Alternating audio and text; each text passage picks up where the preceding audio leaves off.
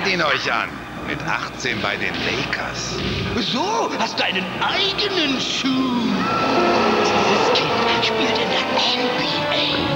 Den Slam Dunk Contest hast du gewonnen. Just believe in yourself.